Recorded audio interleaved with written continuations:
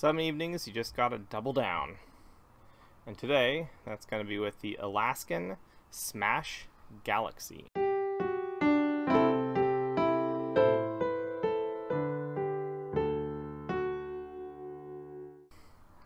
Well, hello, and welcome to another episode of Chewing the Brew. This evening, nice cool evening in late September, I'm going to be enjoying the Alaskan Smash Galaxy Double IPA, which bills itself with the additional definitions of being a single malt and single hop.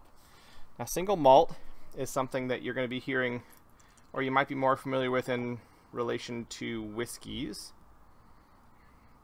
and I believe that it means that there is a single grain involved. That's what I'm guessing it means here. So it's a single type of grain. Most most of the time, your your beers and even your whiskeys, most of your um, malt beverages are going to be made with a combination of grains. It's called the malt bill. It's the the ratios of the various grains, um, wheat, barley, rice, corn, uh, oats, even um, millet, sorghum. When you get into the gluten-free beers, and those combinations of grains produce the maltiness, the malt character. Kind of the it's really the foundation of the beer that you're drinking. So this being a single malt, I have not looked up to see what malt it is. I've also not looked up to see what hop it is. I'll probably look those up later just to satisfy my nerdy little heart. But not knowing what those are, I'm not sure what character they will bring to the beer, but I would expect it to have. Well, okay. Expectations. Anytime I see words, anytime you see words, you see advertising copy, you see the the art on a can, it generates ideas in your mind, right? I'm no different from anybody else. There's expectations involved here. So I see single malt and single hop, and I'm thinking, oh, cool. What's that really going to mean, though? Practically, it's probably not going to be like blow your mind amazing, but it will be interesting. It will be interesting because I know that the malt in this beer is going to be coming from a single grain. So that character, that malt character, will be specific to that grain. Now, this being a double IPA, it's going to be super hopped. It's going to be highly alcoholic. Um, and so that malt is really going to be playing a distant second fiddle. So I'm not sure if the malt, the single malt, is really going to be anything more than interesting ad copy in this case. It might be more. This is all expectations. This is just what's going around in my head before I've even smelt this beer or tasted this beer. When you're talking about single malt in a whiskey, you can have, there are delicious blended whiskeys. Some of the most drinkable and tasty whiskeys out there are blended, and there's nothing wrong with that, right? It's, if you enjoy it, it's the right whiskey for you. If you enjoy it, it's the right beer for you. When you're talking about single malts, that is also a statement of the brewer's craft that they are able to pull whatever those flavors and aromas are in the finished product from a single type of grain. Brilliant. Great. So that's kind of the thoughts that are going around in my head regarding this being a single malt and a single hop double India Pale Ale. Double, we've talked about before, it just means it's gone up to 11. It's generally, uh, I believe, 8% or higher ABV counts as double. It doesn't mean they actually doubled all the ingredients or anything.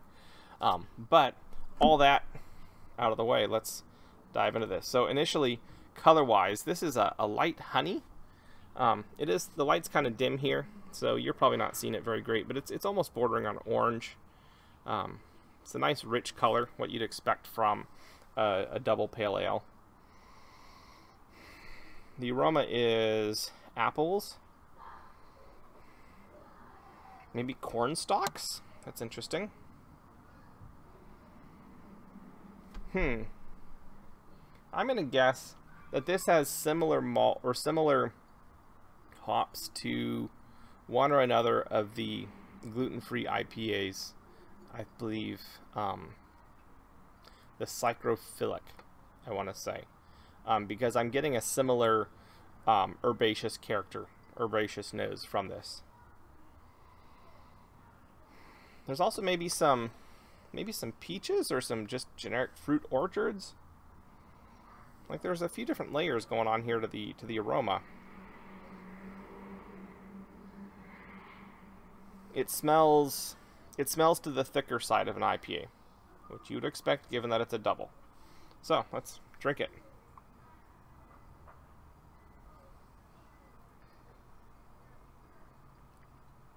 Hmm.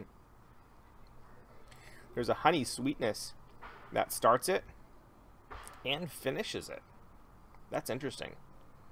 The hops, yeah, it's probably um, a similar hop variety to what um, Ghost, not Ghost Fish, um, whoever makes Psychrophilic. Uh, I'm gonna guess. I would imagine if I looked this up, I would probably find that those are they're using the same hops. There's definitely a creaminess. Um, there's some fruit, so so kind of the honey sweetness, but at times it, it presents as a an apple juice. Um, no berries, no no stone fruit, just just kind of an apple juice sweetness. Um, the malt character for a double IPA is surprisingly pronounced and I believe that might be the the the the maltiness, the the more heavily alcoholic maltiness, because that's going to mean you had to have more sugars to begin with in order to produce more alcohol. So that malt sweetness, but it's a surprisingly clean malt sweetness. Um, I'm very interested now to see what malt it is that makes this. I suppose that's what they're going for, right? It's a beer nerd's beer.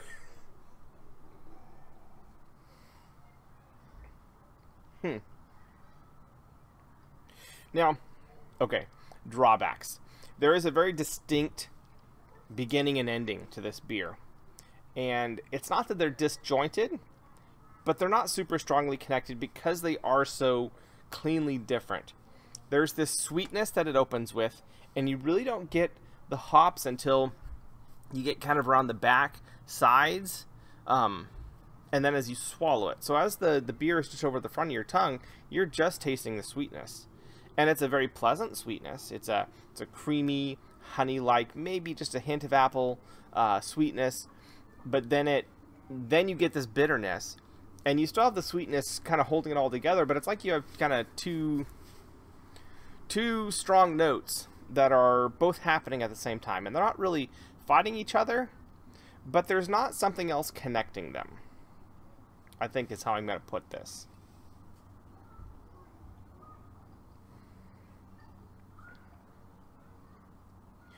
But that is quite tasty. It's certainly not a bad beer. It's a very delicious beer. And I think that's probably a great place to end this. This has been Alaskan Brewing's Smash Galaxy Double IPA, Single Malt, and Single Hop. And I'll catch y'all on the flip side.